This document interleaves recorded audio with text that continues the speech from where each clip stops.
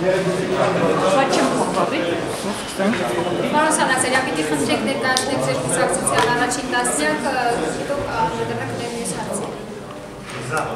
Քուշան Հայաստան կուսակցությունը գլխավորում եմ ես,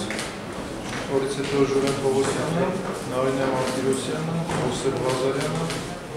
Ավետիս Ավետիսյանը, Համասպյուրը Ավակյան, Սերգեյ Լալակյան, Աղան Պետրոսյան, Սայնան եւ Արաբական ապուրի 7-րդը Սուսուակյան տավոր Պարոն Սանասարյան, դուք 25-րդ կուսակցությունն եք, որ արդեն մասնակցելու այս ընտրություններին, կնշեք, թե ում հետ եք բացառում հնարավոր կոալիցիան եւ ում հետ կհամագործակցեք, եթե անցնեք խորհրդարան։ Մենք բացառում ենք կոալիցիան նախկին իշխանությունների ու ներկաների հետ։ Մնացածի հետ կարելի է քննարկել։ Դե նախ- իսկ հաշվի առնելով, որ բավականին շնորհսնի երեք նախագահներն են մրցակցության մեջ, այս պայմաններում միայն դա գնալը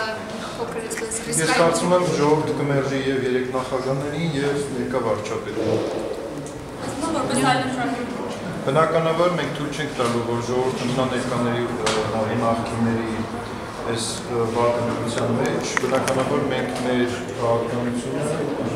այնպես ենք կառուցելու, քաղաքացիությունը դայլատրանք ենք սարելու եւ հատկապես հատկապես Հեղափոխությանը մասնակցած քաղաքացիները իմանան, որ այն պատգամը, որ իրանք ներկայացնում են, այն պատգամը, որ իրանք տվել են